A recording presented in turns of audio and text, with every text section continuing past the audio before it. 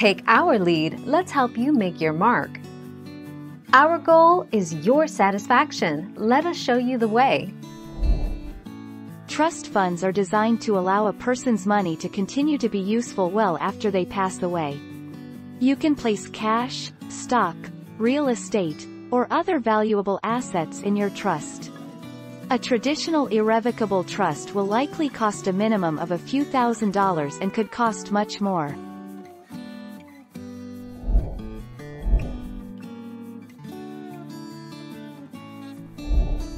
Take our lead.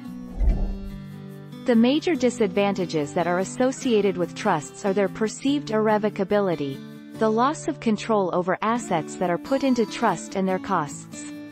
In fact trusts can be made revocable, but this generally has negative consequences in respect of tax, estate duty, asset protection and stamp duty.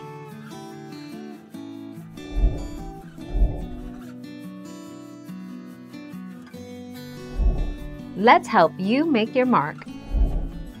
Trust accounts, or trust funds, are private legal arrangements where asset ownership, including cash, stocks, bonds, real estate and valuables such as antiques and works of art, is transferred to a trust and managed by a person or a group of individuals for the benefit of others.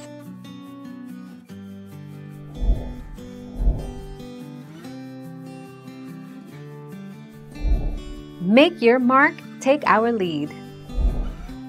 Many people create revocable living trusts to hold assets while they're alive.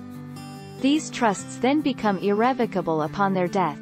The purpose for doing this is to avoid the time and expense of probate, as well as to provide instructions for the management of their assets in the event they become incapacitated.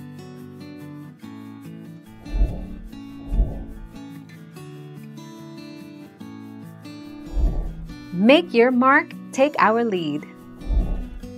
Question. Does a discretionary trust need a bank account? Answer. Yes. Once the discretionary trust has been established and you have paid any relevant stamp duty and applied for an ABN, then a bank account should be opened for the trust in the name of the trustee. Thank you for watching. Please subscribe and hit the bell notification.